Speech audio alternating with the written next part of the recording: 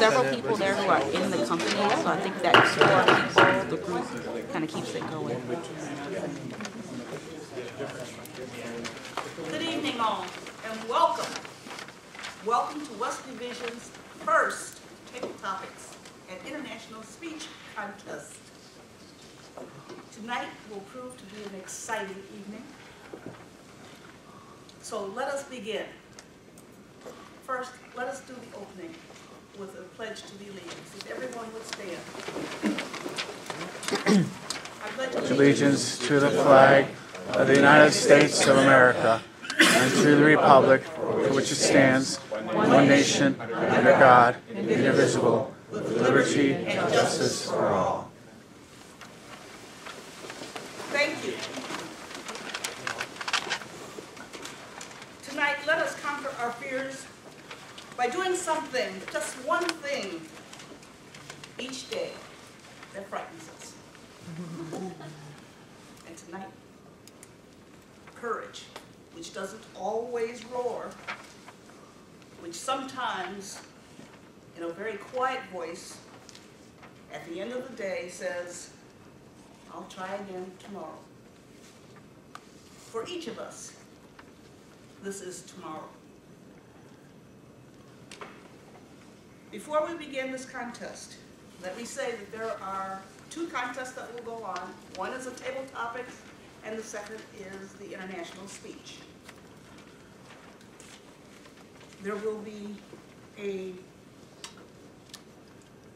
brief intermission right after the table topics.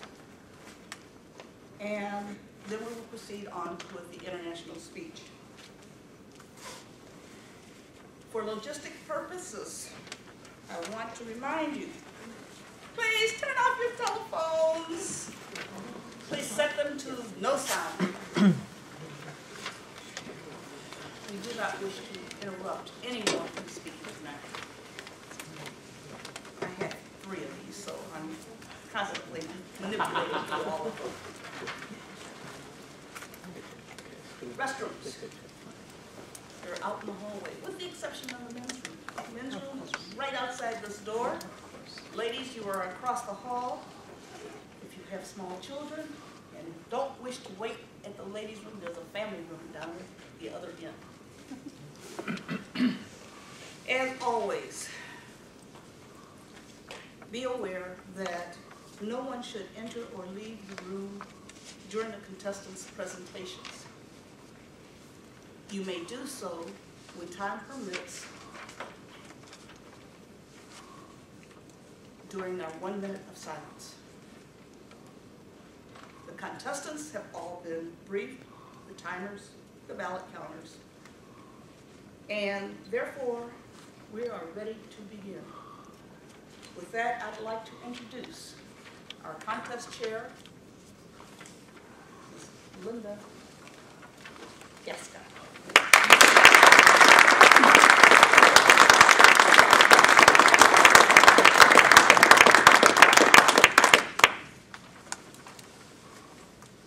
Thank you so much, Madam Sergeant at Arms and Area 74 Governor. Something that we have to make sure we do before we actually get uh, the timing briefing going is the dignitary list.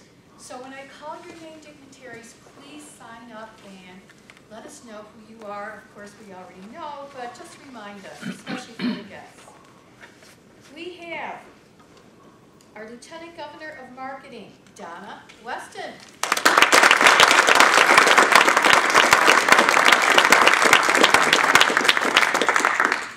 have Who is our Public Relations Officer.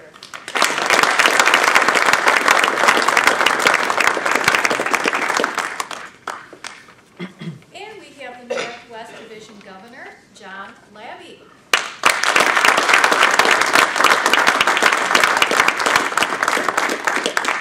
And with us tonight is the North Division Governor, Ethel Goatee.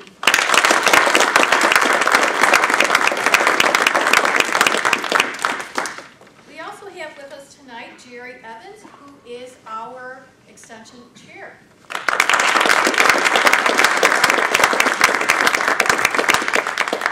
We have Area 1 Area Governor Dean Glosson.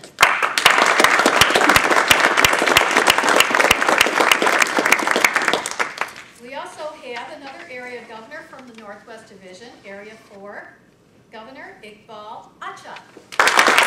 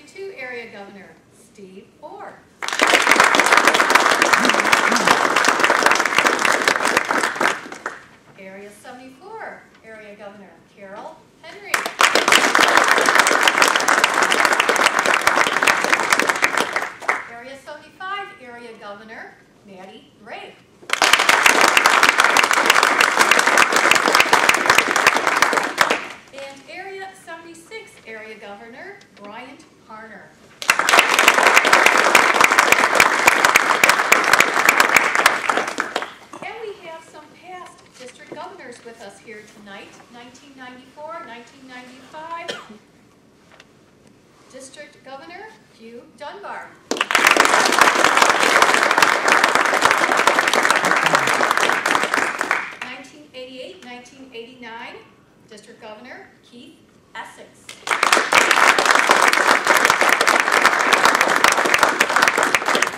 Nineteen eighty-seven, nineteen eighty-eight, District Governor Bob Roman.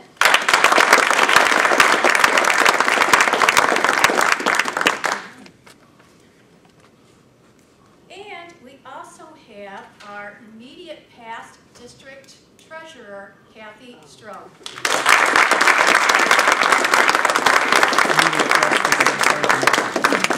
Fellow Toastmasters and guests, I'm so glad that you had a chance to make it out tonight for our inaugural West Division Table Topics and International Speech Contest.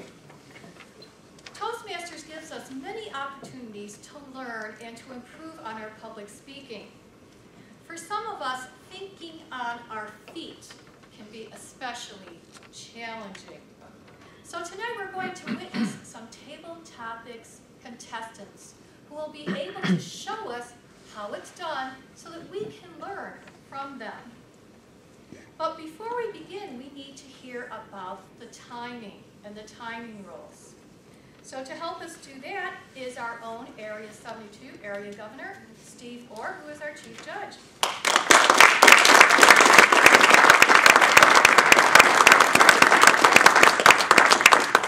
Contest Chair, as Carol said, all the contestants have been briefed and their eligibility determined, all have been eligible, and all the judges have been briefed.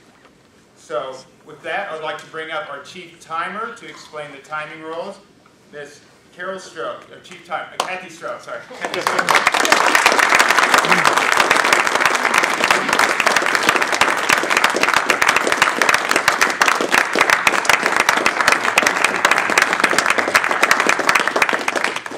The timing will begin when the speaker utters his first, his or her first word, makes a definitive gesture, or otherwise indicates a speech has begun.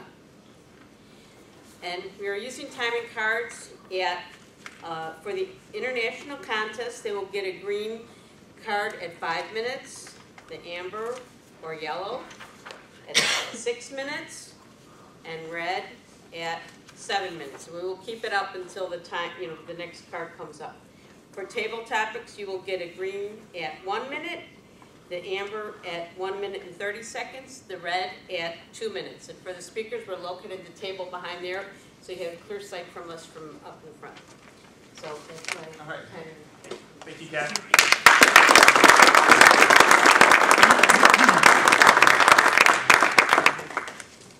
Just a couple other things. the only people who may protest are, are judges or other contestants. Any protest may be made orally before the counting is done, but they, only contestants and judges can protest. Once the votes are tabulated, the decision is final. At that point, no protest can be made. So are there any questions? All right, great. Let the contest begin.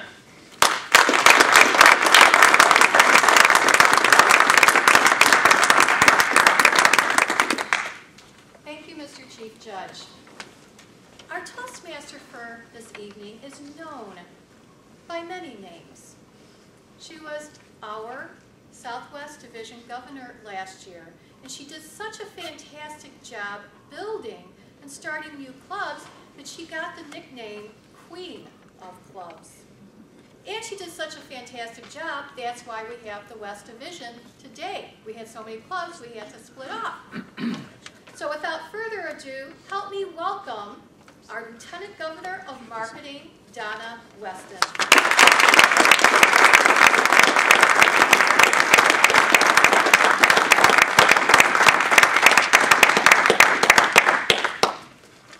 Welcome to the West Division contest. We're starting out with the Table Topics contest. And the first thing I'd like to do is give the speaking order.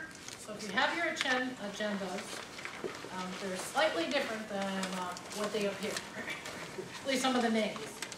Our first table topic contestant is going to be Karen Rohr.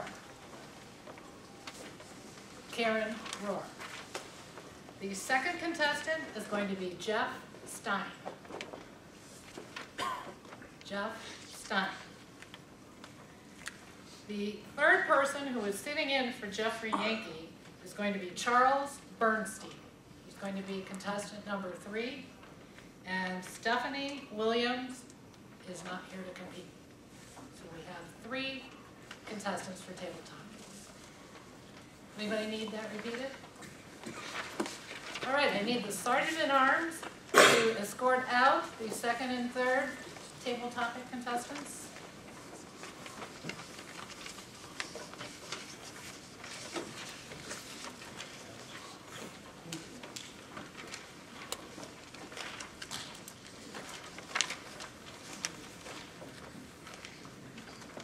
Yeah.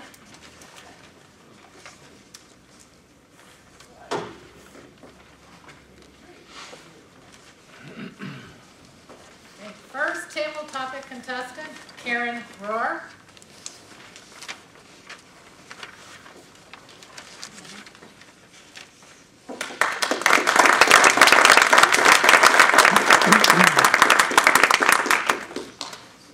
Like Rip Van Winkle, you fell asleep for 10 years.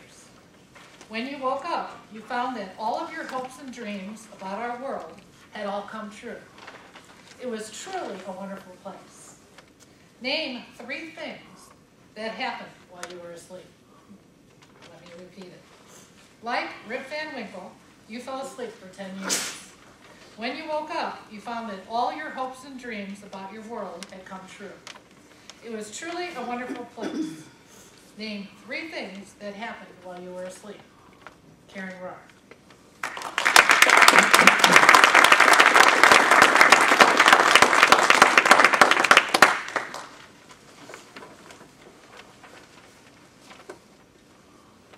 Thank you, Madam Toastmaster, fellow Toastmasters. I would like to tell you that while I have been asleep for 10 years, these wonderful three things took place. First of all, our road system was changed. We do not have construction all the time. We do not have potholes. We have come up with this really great idea that doesn't let you have a pothole. And you don't have curbs, and you don't have these things that cause your cars to be bumping all the time, that make you have road repairs. The second thing is we have more water all around. We have ponds and streams and rivers. And the third thing is we have far more nature. We have awesome trees. Trees are everywhere, not just from your community or not just what you know them to be, but all kinds of trees. They just make you just so happy and so excited to be relaxed and peaceful. So our road systems are gone. They're much more um, accommodating, and our trees are more beautiful, and our water is everywhere.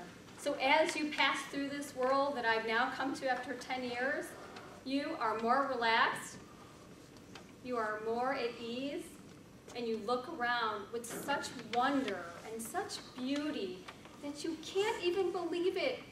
Don't you just wish that you could fall asleep for 10 years and wake up like this? Thank you.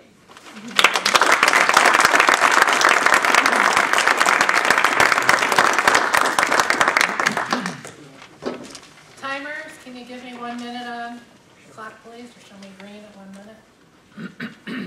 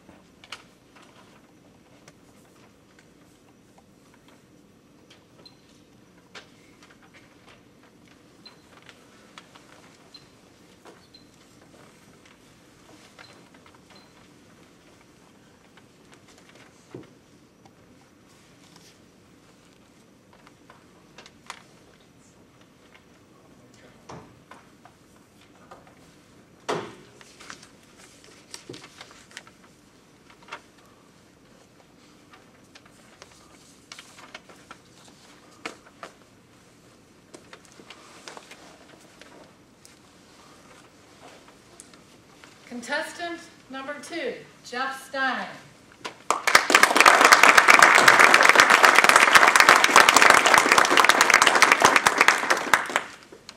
Like Rip Van Winkle, you fell asleep for 10 years.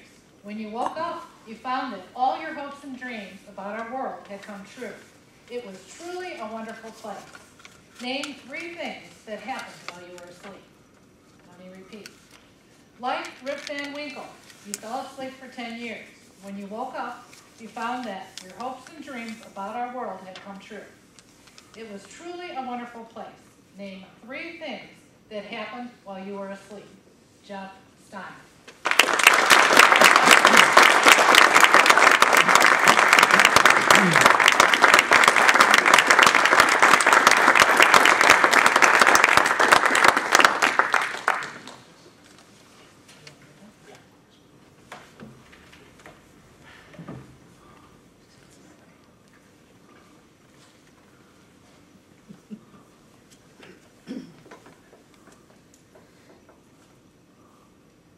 Boy, I really slept. What time is it anyway? Holy. Ten years. No, this has got to be a joke, right? okay. Where's my phone? I gotta find out what's been going on. Isn't that the first thing we'd probably do? Each and every one of us would sit there and pick up and go, Where's my electronic portable device to tell me what's going on and what time it is? Especially the ones that have the, uh, the clock where it like syncs with the world clock. So you know it has to be true, right? I mean, think about it. What reaction would you have if you knew 10 years had gone by? That's 10 years of your life clock. Boy, I'll tell you what. I think there are a few things for sure I would hope would be better. Without question, I would hope we were a more positive society. Mm-hmm. Let's be honest. When you watch television today, how many of the thoughts are negative? How much of what we hear is what we can't do than rather than what we can do? Internet's the same way. You go on message boards, almost disgusting. I would hope at that point we were a better society. That we knew that positivity was better than negativity and that as a society we would all grow together. So that would be the first thing I would hope. Second thing I would hope is that as politicians, they would all get together and figure out a way to get to the common good. Because when you listen to them, they all seem to want the same things. Whether you're Republican, Democrat, anybody in this room, all really want the same things. We're just all saying it very, very differently. If you think about it, that's what communication is all about. The differences in how we say things and how we do them. So I would hope that we would find a way to bridge those communication gaps.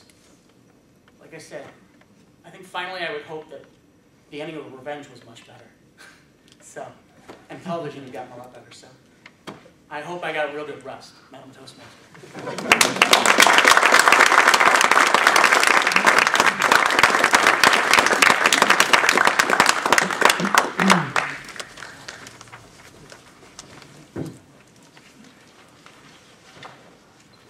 Can you give me one minute?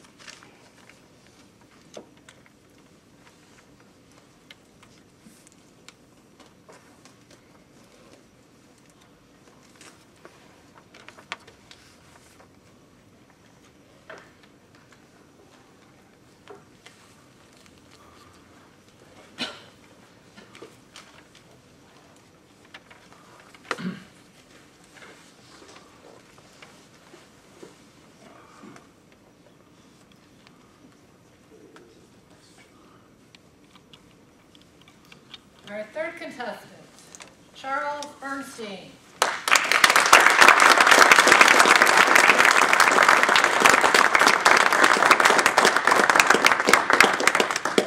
Like Rip Van Winkle, you fell asleep for 10 years. When you wake up, you found that all your hopes and dreams about our world had come true. It was truly a wonderful place. Name three things that happened while you were asleep. Let me repeat. Like Rip Van Winkle, fell asleep for 10 years. When you woke up, you found that all your hopes and dreams about our world had come true. It was truly a wonderful place. Name three things that happened while you were asleep.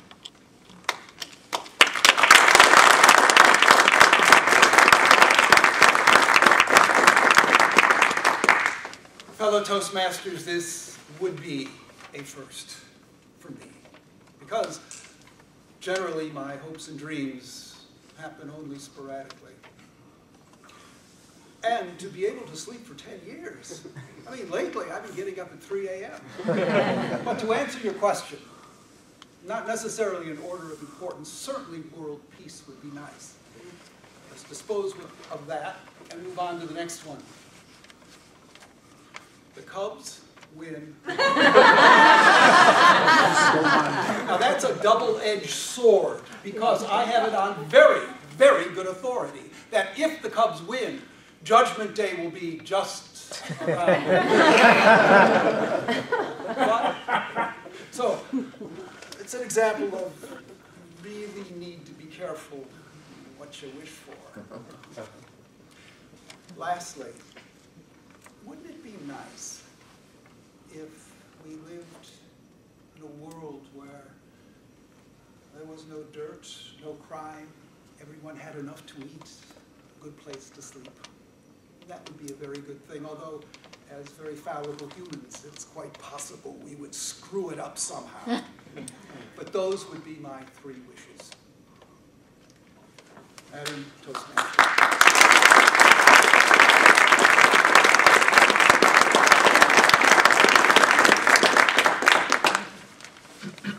And now the judges can have as long as they need to complete their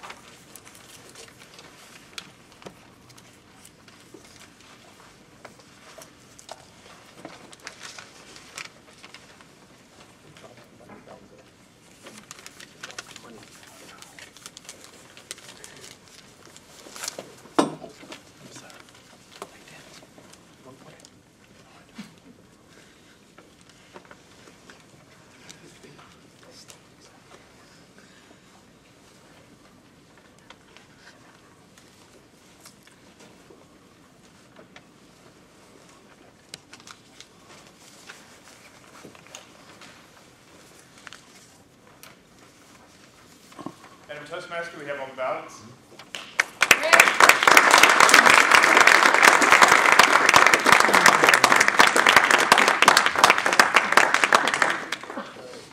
All right, so now we are going to actually interview our table topics contestants. I have them come up?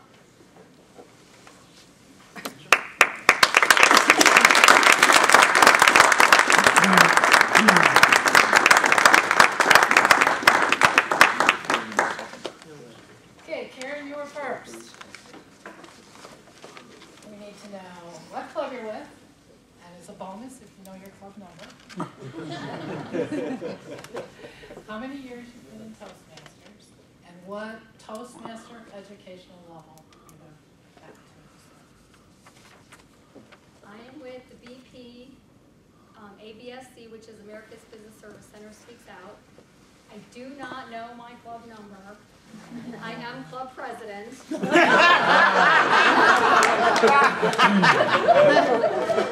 Number? I have been in Toastmasters for 18 months, and I have completed, uh, I'm working on my eighth speech, and I will be completing all 10 speeches by June 30th.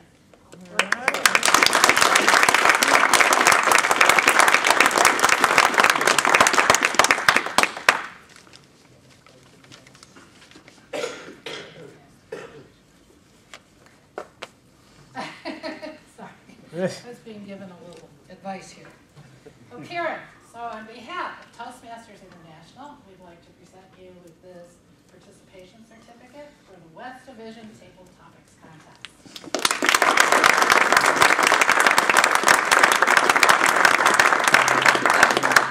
You are in both contests, I'm not gonna ask you quite the same questions, okay? So let's see, I think we're gonna talk about hobbies. Wow, you have quite a list of hobbies, so I'd like to hear which one is your favorite. You list gaming, music, football watching, Pilates, and working out. Oh, I forgot comic books. We can talk about that. Um, my favorite. Um, I do game a lot. I mean, that's where I was this past weekend, so I hung out with a bunch of friends and you know, played the old tabletop Dungeons and Dragons stuff and had a good time, so. Yeah, that's kind of my thing. Okay, and how did you first start in Toastmasters? How did you find out about it? Um, I had heard about it actually in college from somebody who, one of my, one of my dorm mates who had said, oh, you know, if I wanted to learn about speech, I'd join Toastmasters. So, um, that was twelve years probably before I joined it, but I remembered that statement and decided I was gonna join up. Great. Well, on behalf of Toastmasters International, I'd like to present you with this a certificate of participation for the West Division Table Topics.